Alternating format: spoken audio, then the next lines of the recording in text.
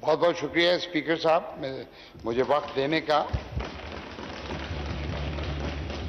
आ, अब, अब, मैं आज पहली दफ़ा अपने माइक को मैंने ऑन किया है पिछले तीन साल के अंदर। तो उम्मीद है आप मुझे थोड़ा सा वक्त देंगे कि मैं कुछ बात रख सकूँ क्योंकि इसमें मोजस ऐवान का मैंने कभी भी एक लम्हा भी आ, वक्त लिया नहीं ना ज़ाय करवाया। पिछले डेढ़ माह से पाकिस्तान इंजीनियरिंग काउंसिल, जो का एक इलेक्शन के सिलसिले में मैं पूरे मुल्क के तूल और से में कैंपेन कर रहा था, उसका मैंने दौरा किया और उसमें हज़ारों इंजीनियर से भी रबता हुआ। इंजीनियर्स जो कि मुल्कों के मामार होते हैं, मेरा और हमारा मुल्क पाकिस्तान भी, और मैं फ्लोर के दोनों तरफ़ यहाँ पे जो हमारे अरकान हैं, उनकी तवज्जो चाहूँगा।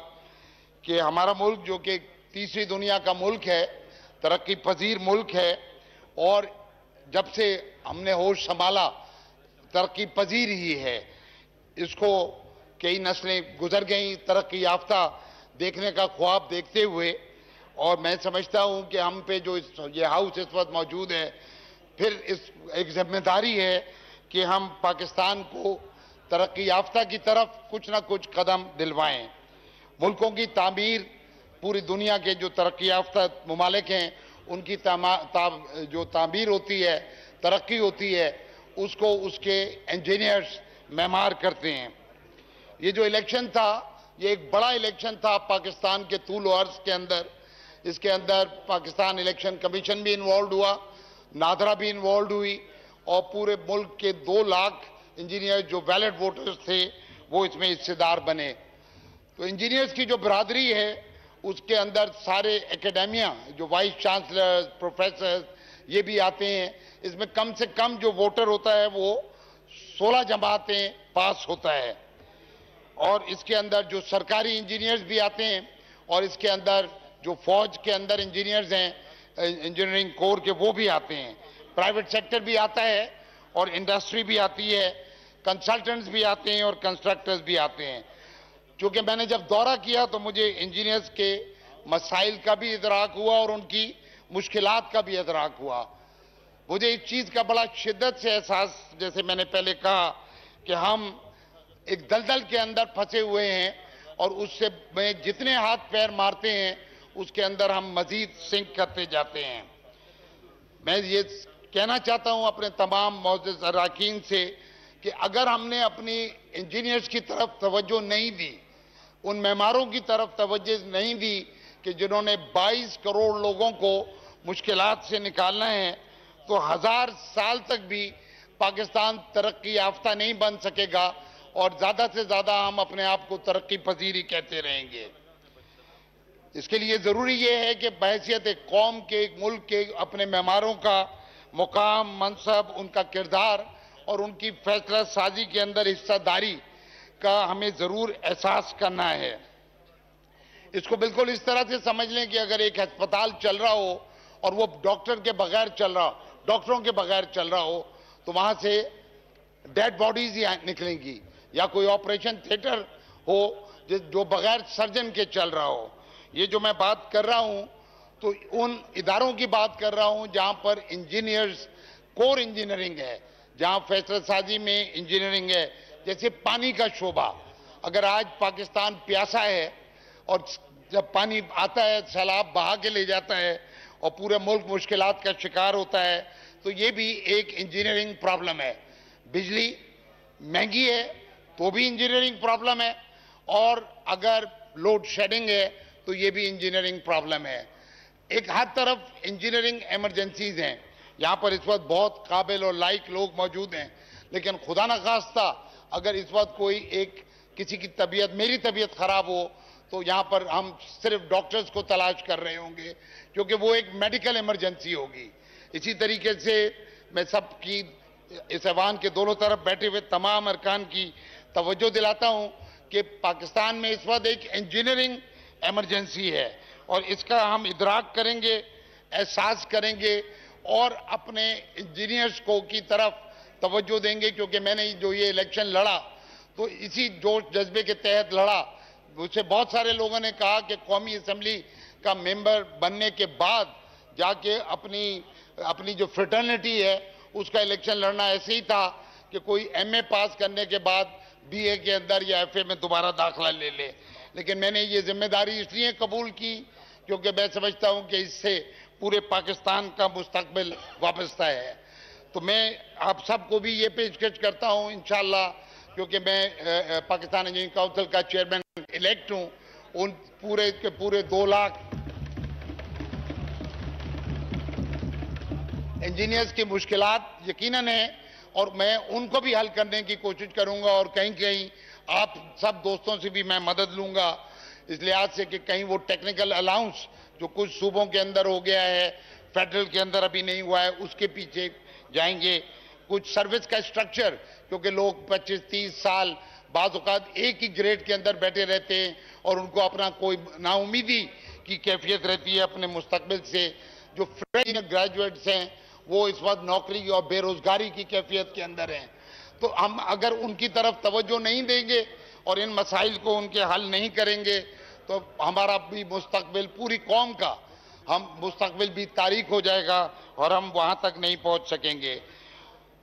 ये जो इलेक्शन हुआ, इसके अंदर बहुत बड़ी तादाद में इंजीनियर जुड़े, चारों सूबों से, माशाल्लाह, अल्लाह ने कामयाबी दी।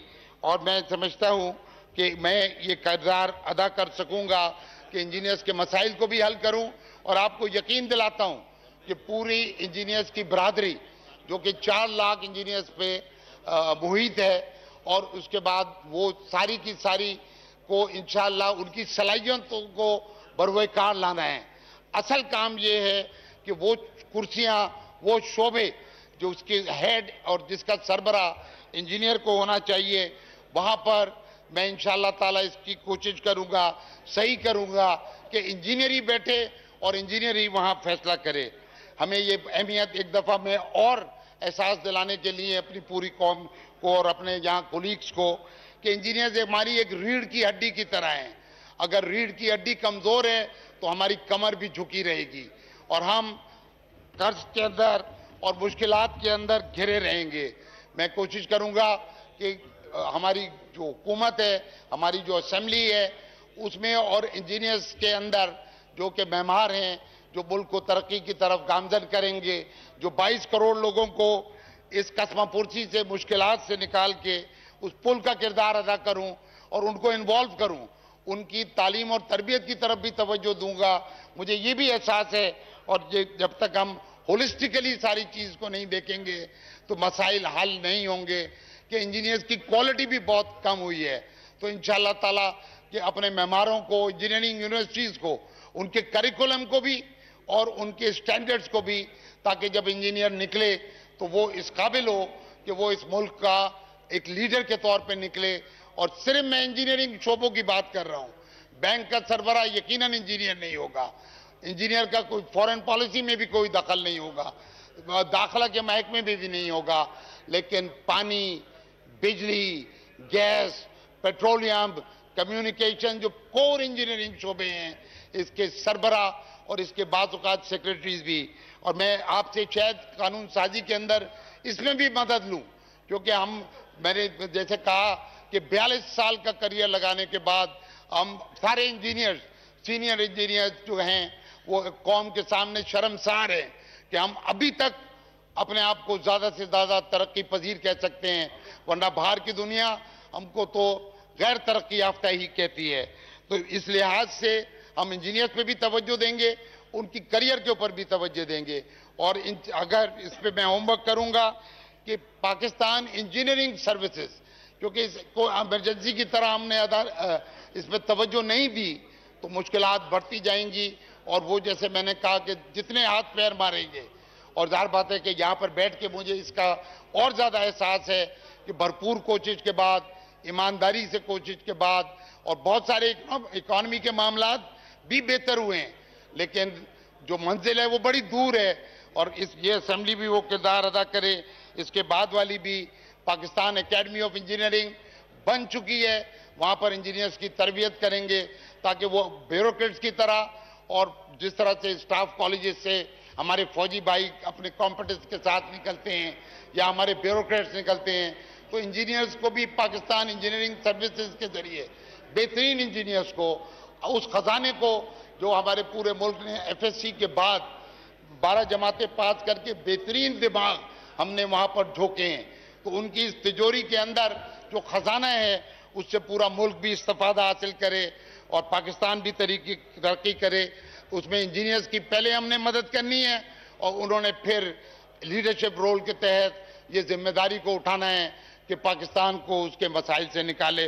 मैं वक्तन फवक्तन इंशाल्लाह तलबगार रहूँगा, इस हाउस की मदद से भी कि हम उनके लिए सहूलियात पैदा करें, बेहतरीन उनकी तरबियत करें और उनको इस तरह के ताकि वो मुल्क की मुल्क की तमीर, उसकी तरक्की, तीसरी दुनिया की लानत से हम निकलें और तरक्की पजीर के की उससे भी निकलें, नाम से भी निकलें और फिर मराइल को ऊपर बढ़ते हुए इंशाल्लाह मेरी ज़िंदगी में नहीं तो यहाँ हाउस में बैठे हुए जो नौजवान हमारे यहाँ पे पार्लियामेंट के मेंबर्स बैठे हुए हैं ये एजाज हासिल कर सके पार्लियामेंट भी कि इंशाल्लाह कि मुल्क मेरा और आपका मुल्क पाकिस्तान एक याफ्ता मुल्क बने। बहुत बहुत शुक्रिया।